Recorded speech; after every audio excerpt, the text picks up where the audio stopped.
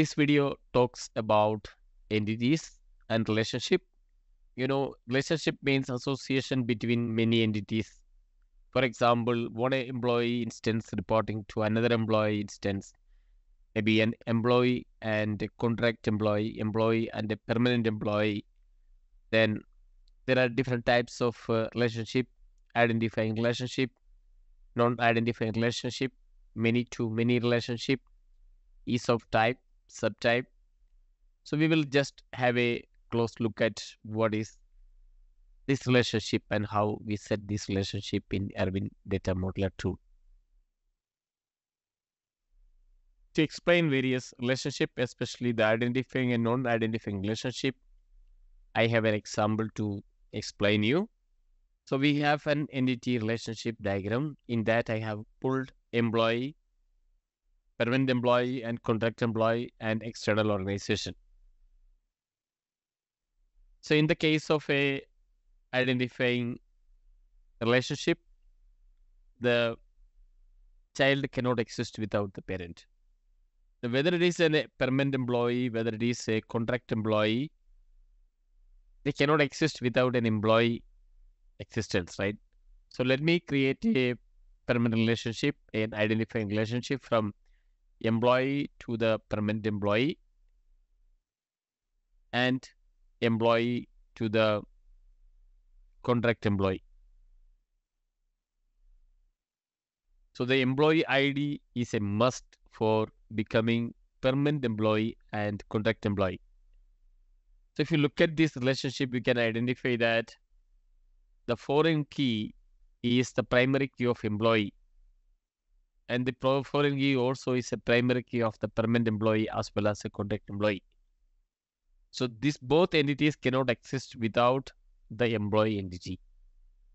So we have something called data type, employee type. This employee type will decide what type of employee is whether it is a permanent employee. If permanent employee, it will have a salary, it will have a band.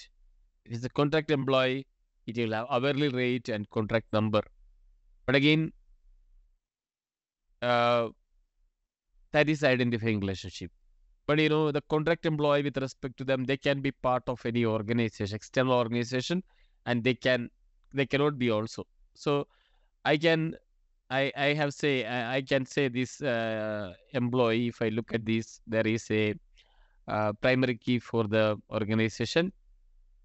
So if I make a non-identifying relationship from external organization to the contract, what happens? Now this external organization ID becomes a foreign key, but never become part of the primary key.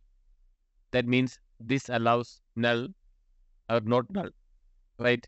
So this kind of entity, this kind of relationship where um, the child can exist without an organization also. So that is a non-identifying relationship. This is an identifying relationship.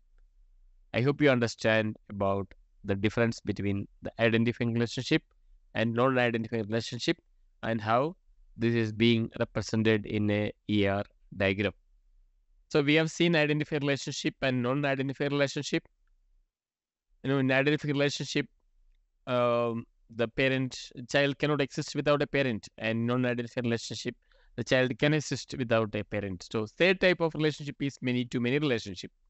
In many-to-many relationship, more than one record of one entity can be associated with more than one record in another table and vice versa.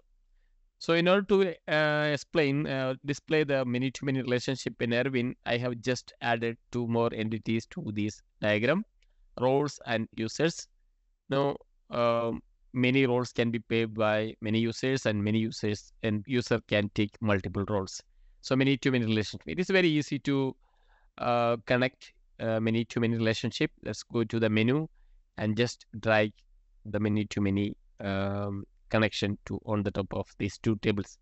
So basically, uh, uh, there are some challenges uh, because of this uh, multiple relationship or association. So normally in the database uh, level or physical level, what does do is they have introduced a third associated table where we will have the primary key of the roles and primary key of the user as the primary key of and uh, foreign key of the user role user. So if we can also bring that into the logical layer for that, let's go to the model view. We have, uh, sorry, the actions menu. We have the transformation. Uh, let's just uh, select and we have something called the resolve many to many relationship. So if you choose the resolve many to many relationship, it will introduce an associated table and you know the similarly what you see for the uh, physical layer uh, the role id the primary key of the roles and the primary key of the user id becomes the foreign key and the combination of the primary key of the role user so that uh, this is properly managed um, with the associated table so this is a, a third type of many to many relationship so we have seen identify relation, non-identify relation, and many to many relation, how to represent them in a Erwin data model tool. Thank you.